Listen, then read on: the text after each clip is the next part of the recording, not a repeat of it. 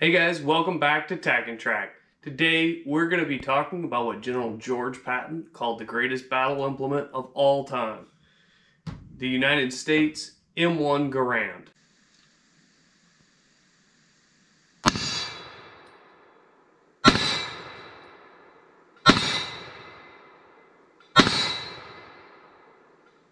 M1 Garand and the men who wielded it forever changed the history of the world. This is a rifle whose impact cannot go overlooked and cannot be understated. It served everywhere from North Africa and Italy to the beaches of Normandy on D-Day, as well as the invasion of Okinawa and other Japanese-held islands, and went on to serve the U.S. forces throughout their fight with communism against North Korea. So today we're going to be continuing our World War II series with the Garand. Uh, we're going to be taking all of these guns, putting them up against each other head to head in a competition. But before we do that, we needed to cover the history and design of these firearms. So today with the Garand, we're going to take a look at the designer, the history, uh, the design itself, and then we're going to take a look at this rifle as an individual. It's going to be a fairly long video, so don't forget down there at the bottom We'll have everything divided out for you if you want to skip around. The M1 Garand was designed by Mr. Garand. Now, before we get to the whole debate here, I'm going to leave it simply as this. The rifle is traditionally pronounced Garand, whereas the designer is Garand. Now, whether the rifle is properly named or not, that's a subject for a totally different debate. So with that out of the way, let's talk about Mr. Garand. Mr. Garand was born in 1888 to a family of 12 in Quebec, Canada. So he's an immigrant to the United States, and in my opinion, the best thing to come out of Canada since maple syrup. So he went to work for Springfield in 1917 and continued to work for Springfield until 1953. So long history as a gun designer. Several other members of his family became inventors as well. However, he was the only one who went into firearms. And that came from a true love and passion for firearms. Growing up, he worked in a shooting gallery, so had a long history with firearms, was an avid marksman and shooter himself. So when it came time to develop a rifle, he really put the shooter first and it shows.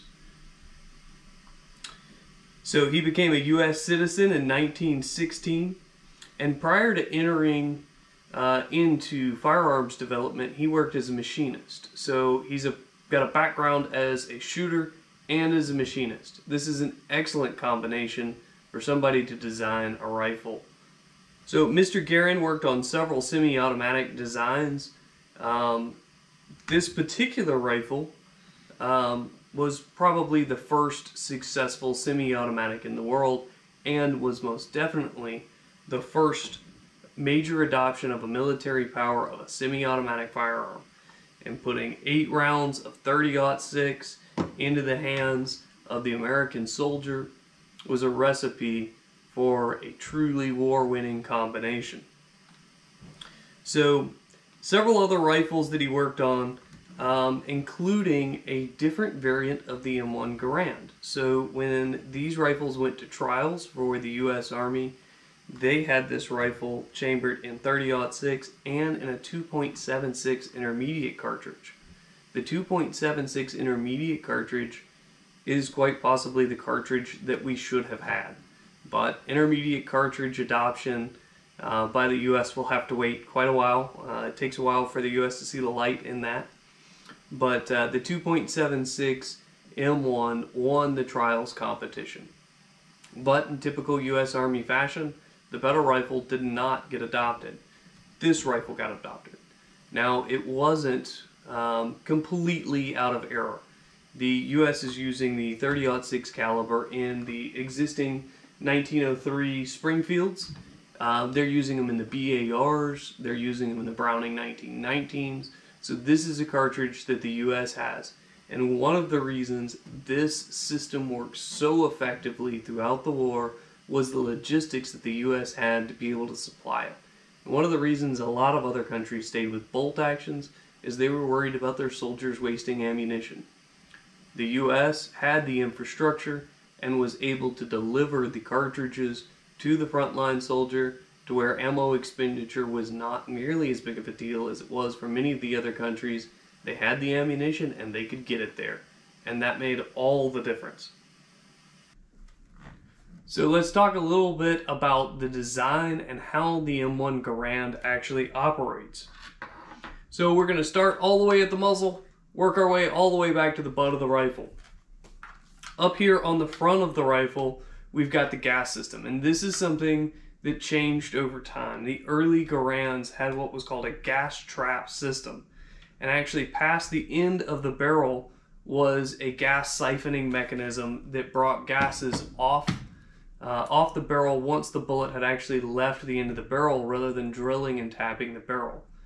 You got to remember this is one of the first semi-automatic rifles to really see major service and it was thought that drilling a hole in the barrel would decrease the uh, lifespan of the barrel through the gases escaping through the hole. That hole would eventually grow bigger and that it would weaken the barrel's strength. Now, all of those are somewhat true. What we found out over time is that it's not enough of an issue to warrant making a design change for. Up here in the front, we've got our sights. They're pretty standard issue sights. We've got nice little wing protectors here on the side of them. And these are going to look really good through this rear aperture that we'll talk about in just a second. We've got a fully wrapped handguard right here It's a very comfortable place to rest your offhand and will protect the shooter from this barrel getting hot. We also have a bayonet lug down here on the bottom. Remember World War II, bayonets were still thought to be essential. It's one of those things that uh, kind of fades out over time, but at this point in time, bayonets were still thought to be an important part of a rifle's design. We also have lugs right here um, for a rifle sling and we'll see three of them on this particular rifle. Right back here, we've got the op rod for the rifle. This is actually going to move as the gun is fired. So this is one of those things that you need to be sure isn't in the way of hitting something because it's going to cycle every time a round is fired. One of the things that I want to point out with this rifle as a shooter is how good its balance is.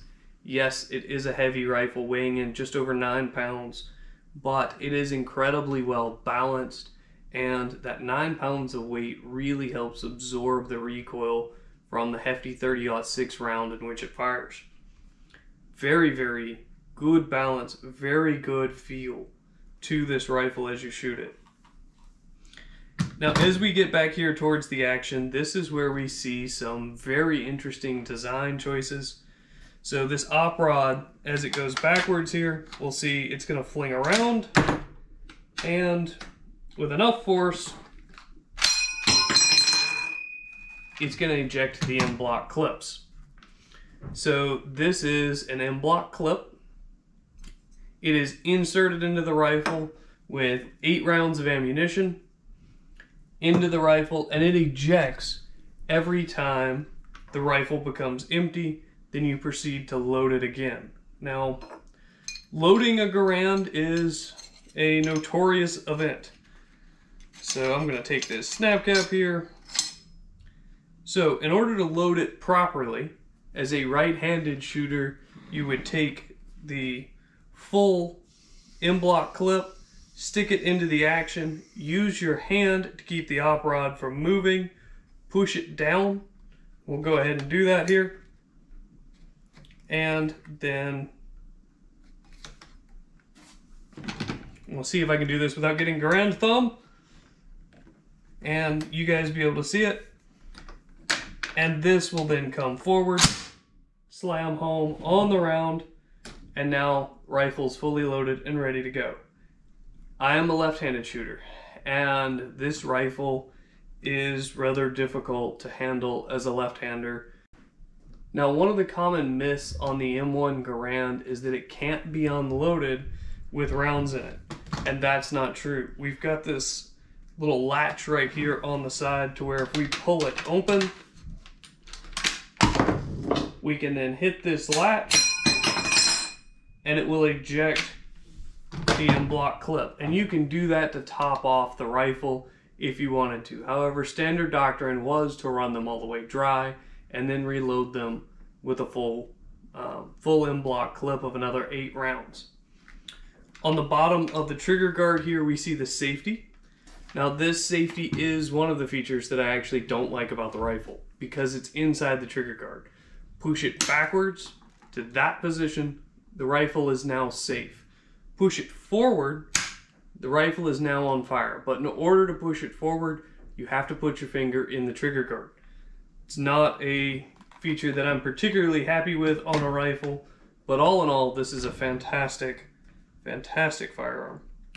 Back here on the sight, we have a really, really nice rear aperture sight. It's also adjustable for windage and for distance, and it's set up for a reasonable distance settings. So as we look at other World War II rifles, they're set up to impossible distances, up to 2,000 meters, and that is simply not reasonable for an iron-sighted firearm. This rifle, the sights are incredibly good, they're incredibly easy to use, and they're set up for realistic distances. So as we go backwards, we'll see this stock right here. Um, I wish I could let you guys feel how good this stock fits up against your cheek, how well it molds into your shoulder. This was a stock that was designed by someone who shot often and really knew how to design a stock for a shooter. And it is an exceptionally good stock. It feels great. The balance on this rifle is great. The sights are great. And eight rounds of 30 6 in World War II for standard infantry rounds, that's a lot of firepower. Put it in the hands of someone who knows how to use it, it is most definitely a deadly weapon system. And we'll see these used well past World War II. We talked a little bit about their use in Korea, but these things are still popping up in conflict zones today and are still effective today. Might be a little bit outdated, but effective nevertheless. So, with the design and the designer out of the way, let's talk about this particular rifle. This particular rifle is a Springfield Armory produced. There were several manufacturers during the war, but this particular one is made by Springfield. It was made in 1944 towards the beginning of the year. And this rifle is all period correct with one exception. It has a replacement bolt. It's a 1956 model bolt that is in this particular rifle. And odds are this bolt was replaced at some point during the Korean War. So this rifle, like many others, probably saw service in both World War II and Korea. With that being said, it's still in exceptionally good shape. And we'll take a look at this thing. This one came from the CMP. This was out of their service grade. Um, it was $750 purchased from the CMP. And if you guys are looking for an M1 Garand, go buy one from the CMP. Um, I actually went and picked this one up. I got the opportunity to go to the Anniston Distribution Center for the CMP and actually pick out my particular rifle. And the Korean War replacement bolt in this rifle is one of the reasons I wanted this rifle, just because it's got a little bit more history to it. These are fantastic shooters. Uh, I was able to pick this one up in 2018 for $750 from the CMP. Um, so really quite a good deal. Uh, very, very good shooting rifle. This has a muzzle reading of a 1 plus and a throat reading of a 3 plus. That's one of the advantages from buying from the CMP is they do a lot of homework. They have an armorer look over these and they can give you some detailed information on the particular rifle you're buying. So if you're interested in one of the M1s, that is definitely the place to get one. There are a few hoops that you have to jump through in order to get one from the CMP, but overall the best way to do it. And we'll take a look down this rifle from one end to the other, but overall this rifle is in incredibly good shape, very accurate, very good shooter, and I expect this to stand up very well in our competition. This, um, this and the M1 carbine that isn't here yet, we're borrowing the M1 carbine, so we're kind of waiting on it to come in in order to shoot our videos here. but uh, this and the M1 carbine are my favorites to win the competition, and I really think that these are by far one of the best main battle rifles of the war, and it's been a pleasure to own and shoot this rifle. And I highly suggest if you have the opportunity, you have the ability to own one of these, go get one from the CMP and get them before before they're all gone. Um, with that being said, the CMP is also offering 1911s.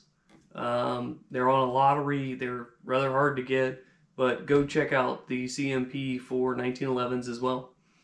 Guys, thanks for checking us out today on TacNTrack. Don't forget to subscribe. We got a bunch more of this style of content coming, and that competition of all these World War II rifles is coming up just as soon as we can get all of these rifles covered and we can get the borrowed firearms in. Thanks for checking us out on TacNTrack, guys.